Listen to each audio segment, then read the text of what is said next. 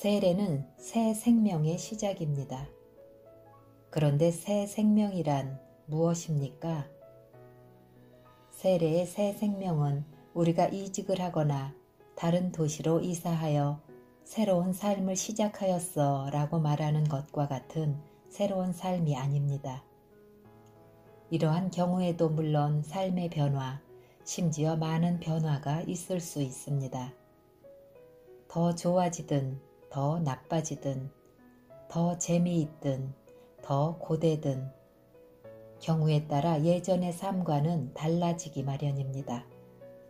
여건, 상황, 동료, 지인, 친분, 집, 수입이 달라집니다. 그러나 이것이 새 생명은 아닙니다. 똑같은 삶이 계속 이어지는 것일 뿐입니다. 세례의 새 생명은 또한 사랑에 빠지거나 좌절하거나 질병에 걸리거나 예기치 않은 중요한 일을 겪을 때 우리 마음가짐이 완전히 바뀌는 체험과도 다릅니다.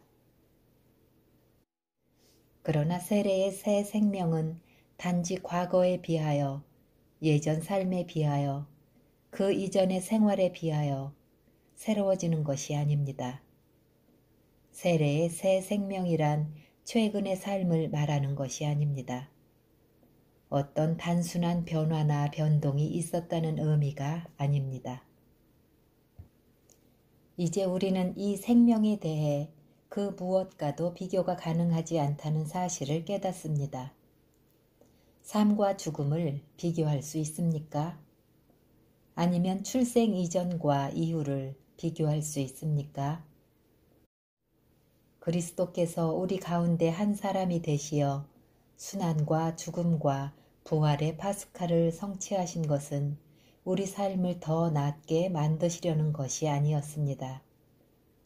우리 삶을 더 아름답게, 더 즐겁게, 더 장수를 누리게 또는 더 신나거나 수월하거나 행복하게 만드시고자 그렇게 하신 것이 아니었습니다.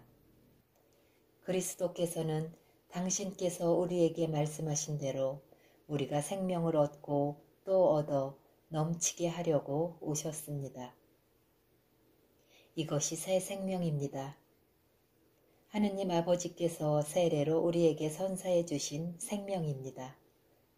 우리네 삶과는 다른 삶이기 때문에 바로 하느님의 생명 그 자체이기 때문에 새 생명입니다.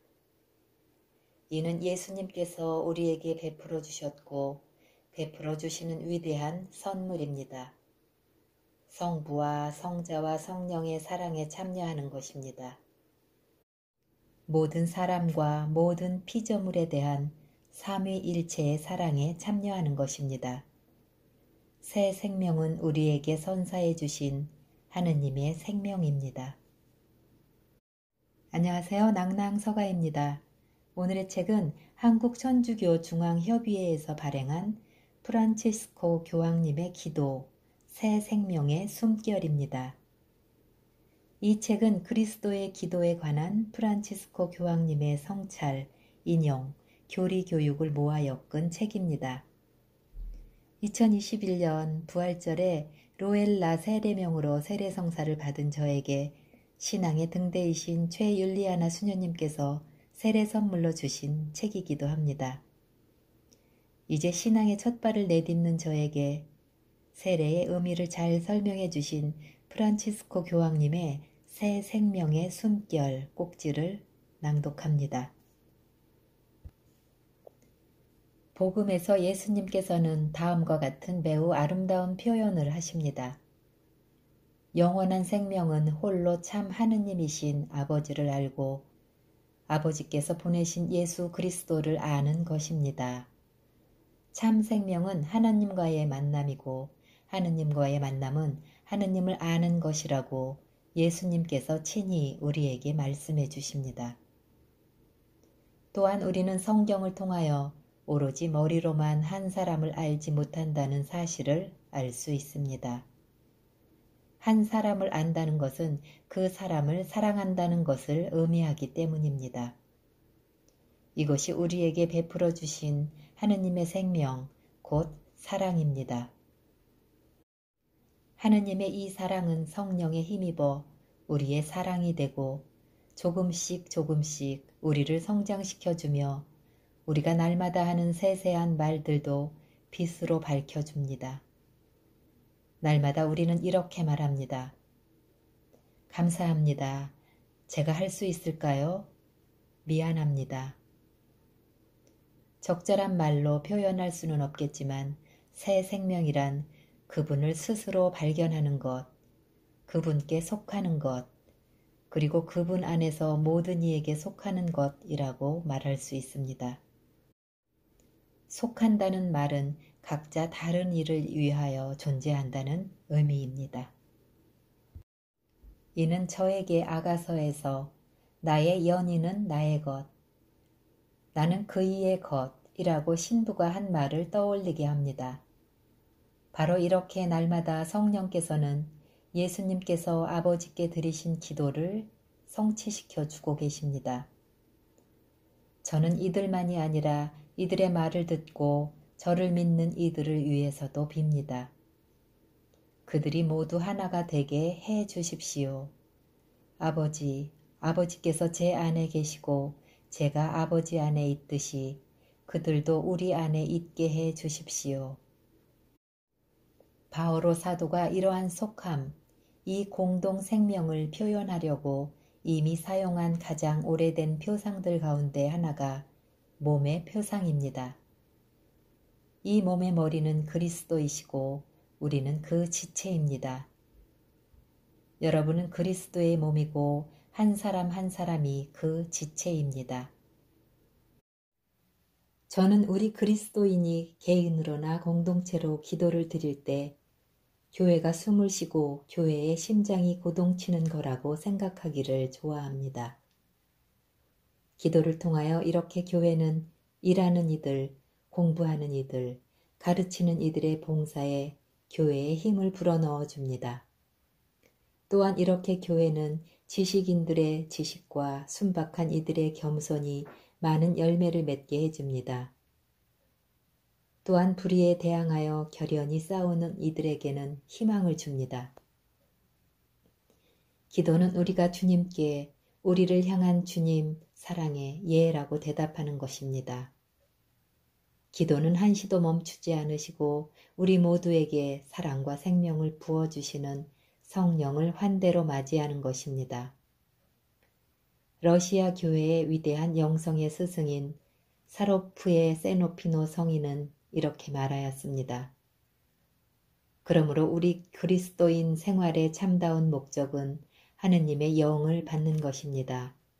기도, 밤샘 기도, 단식, 자선, 그 밖에 그리스도의 이름으로 하는 덕행들은 이 목적을 위한 수단들일 뿐입니다. 사람은 숨 쉴 때 늘 인식하면서 숨 쉬지 않습니다. 사람은 숨 쉬기를 멈출 수 없습니다. 분명히 우리는 숨 쉬기와 마찬가지로 평소에는 인식하지 못하던 이 대화를 또렷이 인식하게 되는 몇몇 순간들이 있습니다. 바로 기도의 순간들입니다. 여기에는 전례의 기도, 공동체의 기도 또는 골방에서 드러나지 않게 드리는 개인 기도가 있습니다. 그런데 이 순간들만이 기도는 아닙니다. 우리는 늘 숨쉬고 있기에 이 순간들은 주님과 함께하는 24시간 가운데에서 특별한 경우들에 바치는 기도입니다. 결국 바오로 사도가 늘 이야기한 대로 천상 낙원은 늘 주님과 함께 있는 것입니다. 예수님의 부활과 우리가 받은 세례로 우리는 이미 천상 낙원에 들어갔습니다. 우리는 아버지의 자녀이기 때문입니다. 곧 우리는 언제나 아버지 앞에 있습니다. 아버지께서는 결코 우리에게 멀어지지 않으시기 때문입니다. 아버지의 사랑은 위대하고 충실한 사랑입니다. 언제나 기도한다는 것은 계속 기도문을 중얼댄다는 의미입니다. 지속적으로 짧은 기도문을 바치고 주님의 현존 안에서 살아가게 해달라는 간청을 드린다는 의미입니다. 이따금 우리는 하고픈 말을 다 하지 못하고 우리의 기도가 기도의 스승이신 성령께서 복두어 주신 말로 다 할 수 없는 탄식이 되기도 합니다. 이따금 우리는 기도하면서 울기도 하고 웃기도 합니다. 어떤 때는 기도가 찬미가 되고 어떤 때는 탄원이 어떤 때는 감사가 어떤 때는 용서의 청원이 됩니다. 이따금 우리는 의혹과 불확실함을 밝히는 빛을 청하고 이따금 우리는 어려움 속에서 인내를 청합니다. 대인 관계에서처럼 기도도 늘 말로 이루어지는 것은 아닙니다. 기도는 참다운 만남입니다. 이 만남으로 우리는 언제나 우리와 함께 계시는 주님의 현존 안에 머무릅니다. 이 만남에서 주님께서는 우리에게 언제나 사랑과 자비와 희망을 베풀어 주십니다. 주님의 침묵은 소중한 것입니다. 이 안에서도 성령의 선물과 은총이 있기 때문입니다. 성령께서는 우리를 주님과 또 다른 이들과 결합시켜 주십니다. 사랑은 침묵 안에서도 드러나는 것입니다. 사랑은 그 침묵을 충만히 채워줍니다. 사랑에는 침묵의 순간이 필요합니다. 기도가 새 생명의 숨결이 될 때 우리는 아버지와 맺는 관계 안으로 들어갑니다. 기도가 참될 때 우리는 성령께 더욱 열려 있게 됩니다. 성령께서는 위대한 예술가처럼 우리 한 사람 한 사람 안에 예수님과 닮은 모습을 되살려 주십니다. 예수님께서는 우리 모두의 보편적 형제이십니다. 물론 성령께서는 우리가 예수님과 물리적으로 닮게 해주시는 것은 아닙니다. 그러나 바오로 사도가 말한 대로 성령께서는 예수님께서 지니셨던 바로 그 마음, 예수님의 생각과 시선이 우리 안에 자라게 해 주십니다. 예수님께 생명은 주고받는 선물입니다. 이것이 예수님께서 아버지 뜻에 충실하시어 순환받으시고 돌아가셨다가 부활하심으로써 성취된 주님 파스카의 의미입니다. 기도는 이 파스카 여정에서 예수 그리스도를 따르겠다는 소명을 우리 안에 키워줍니다. 완전히 자신을 내어주고 자신을 의탁하는 것은 언제나 하나의 죽음입니다. 그러나 이는 예수님과 함께 부활을 향하여 생명을 향하여 나아가기 이전에 마지막 한 걸음이 되는 것입니다. 새 생명은 우리가 하느님처럼 우리 자신을 내어주면서 살아가기 시작할 때 우리 안에 구체적으로 나타납니다. 이는 우리의 덕행이나 자질의 결실이 아닙니다. 우리의 덕행은 언제나 보잘것없고 불안정하기 때문입니다. 이것은 우리가 하느님 사랑을 조금씩 조금씩 받아들이는 데에서 맺어지는 열매입니다. 새 생명은 우리를 내면에서부터 새롭게 해주시고 우리를 그리스도와 하나 되게 하는 능동적이고 힘있는 사랑에 관한 것입니다. 그리하여 우리가 생각에서, 마음에서, 이상에서, 사랑에서 그리스도를 점점 더 닮아가게 해줍니다. 주님과 하나 되는 이 여정은 우리가 우리 자신을 포기하게도 합니다. 이것이 바로 다른 이들을 향한 관심의 몸짓 안에 녹아들어 있는 우리의 죽음입니다. 많은 좋은 생각과 선한 의향 뒤에 감추어진 우리의 이기심을 버리고 우리의 주장을 접는 몸짓 안에 녹아들어 있는 우리의 죽음입니다. 우리는 믿음 안에서 마지막 숨을 쉬며 아버지께 궁극적으로 자신을 바치는 삶을 살게 될 것입니다.